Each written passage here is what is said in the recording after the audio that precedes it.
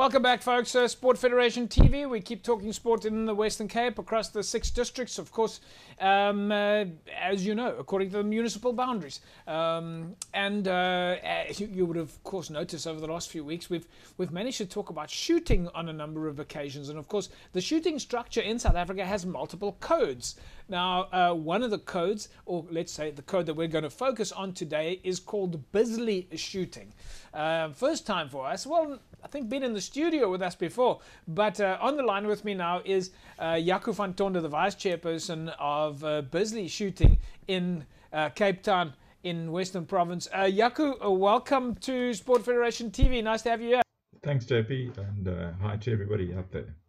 All right, uh, Jaco, um, uh, you're going to have to educate me a little bit. Bisley shooting, it's got this strange name. You know, when we look at sport codes and the names, and we things like we hear things like practical shooting and target shooting, uh, black powder shooting. It sort of explains the, the, the, the code. Bisley, though, give us a rundown. What is Bisley shooting? yeah, the, the name itself actually hails from a town in the United Kingdom. So people don't realize this, but globally, uh, Bisley shooting is um, one of the, if not the oldest codes of competitive sport shooting that exists. It had its origins in the town of Bisley in the United Kingdom in the late 1800s.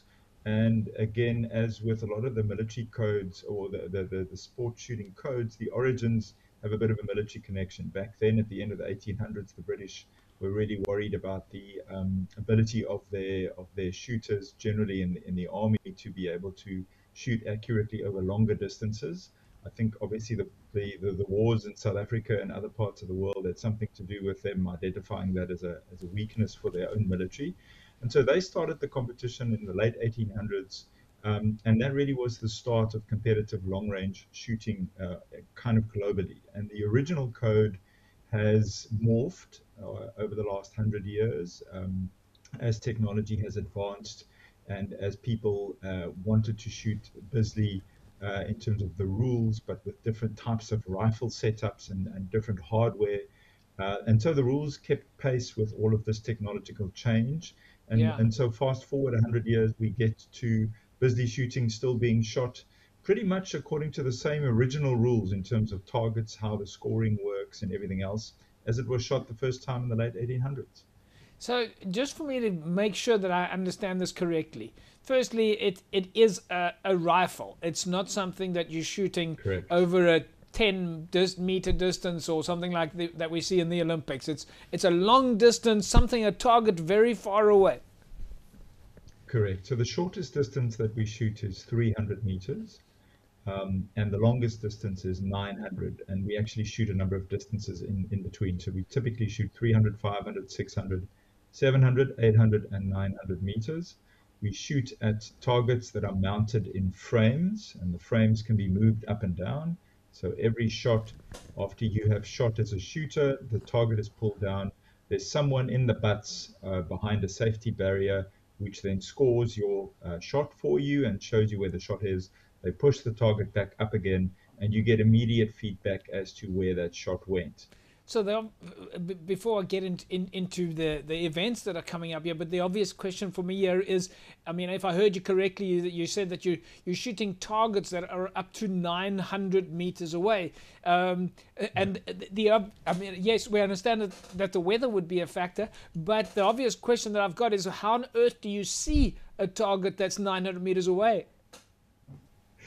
Yeah, so you you, you use uh, we use high power optics in various ways. Um, so even even though some of the subclasses, the rifles don't have any uh, telescopic optics that that enable you to see over a distance, they are really some of the old disciplines that hail from the late 1800s where you still shoot with what we call a peep sight. You know, two mechanical rings, and you have better have very good eyesight so that you can keep those rings centered on the target 900 meters away but for you to be able to see where your shot went, people yeah. use a spotting scope or some type of uh, telescopic device that's next to them, and they can then see what's going on on the target. So, so you're lying on the ground. Do you have your telescope or scope? Is it is it a separate device? Is it next to you, or is it attached to your rifle?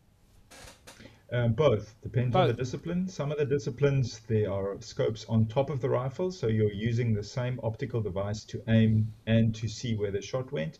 So the other disciplines, what we call the peep sight disciplines, uh, you are not allowed to use an optic on your yeah. on your rifle. So you use mechanical sights, and so then you've got a separate optical device next to you obviously a lot of attention around this, maybe on a global level, after we see all these movies that come out on TV, uh, movies like Sniper and a few others, where clearly um, in those cases, there the, the, the hero is able to shoot um, more than a mile, um, and, and, so on. And we've, we've, we've seen quite a lot of, um, call it attention for this type of detail in shooting, where you talk about things like the wind and the weather and the temperature and humidity having an effect on, on shooting.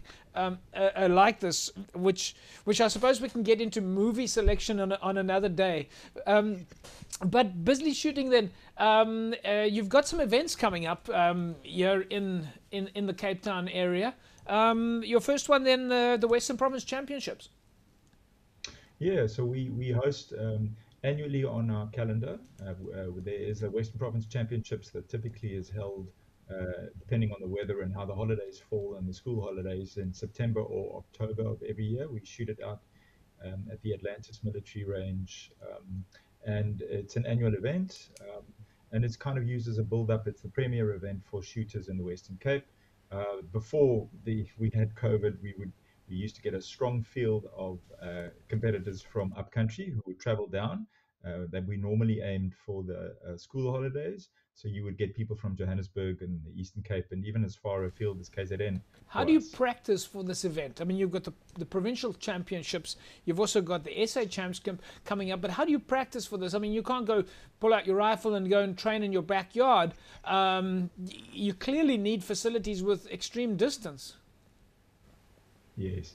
So, so, so we are lucky in, in South Africa that we um, actually have a number of ranges. Uh, historically, we've had a number of military ranges uh, that have had excess capacity. In other words, the, the usage level of the military of the range is at such a level in the police that they that they tend to have the range available over weekends. Right. Uh, and so we work quite closely with the military, uh, and we have an arrangement that we are able to get range orders under military supervision uh, on most Saturdays, as a matter of fact. So, um, so we are able to run uh, events most Saturdays. Typically, we would have events three out of four weeks, and then we have one week where we skip, and then another three weeks. So there's ample opportunity over the weekend to practice. Um, you've got the SA Champs coming up, but obviously we want to know how are our Bisley shootings in the Western Cape doing? You've got the best of the best coming around from, um, in fact, you've got at, at, the Open Championships as well, but you've got the best of the best from the country coming to participate. How are our Western Cape athletes doing in Bisley? Are we able to beat the rest of the country?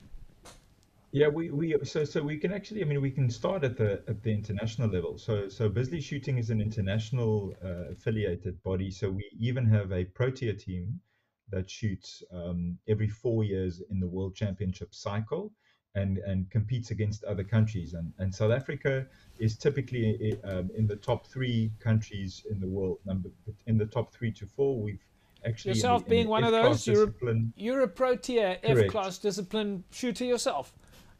I am indeed, and we have won the world championship once before. We've wow. medaled a number of times subsequent to that. So South Africa is um, is is very well represented in the international shooting uh, sports codes, especially around Bisley. We do really well. The Western Cape um, is one of the strong provinces, together with Gauteng, when it comes to kind of local regional pockets of strength. Um, and so the Western Province shooters definitely do exceptionally well. And there's a saying that we've got in the Western Cape that we don't easily allow an outsider to take our Western Province Open Championship medal, and uh, and we we are going to put up a good fight to make sure that the cup stays in the Western Province this year as well. That's incredible. We're finding out more and more good stories every day in the world of sport. Uh, what you're telling us is fantastic, fantastic facilities, well organized, great events, um, athletes coming through the ranks and competing at a national level and winning world championships. Jaco, fantastic chatting with you. We'll leave it at that. We, of course, wish you guys the best of luck for the um, Bisley Open Champs that's happening on the 31st of September. And then, of course, the SA Champs happening on the 17th of October. Yes, indeed. Thank you very much. Appreciate it, JP. There we go, folks. Um, Jaco van Tonder, the Vice Chairperson in Western Province Bisley. And um, great for us to find out more and more at every opportunity. Bisley uh, shooters in the Western Cape competing at a national level, going on so far uh, as, as South Africa uh, or representing and winning world championships. Great stuff. Folks, we'll take an ad break. When we come back from break, we carry on talking about sport in the province. Back in a sec.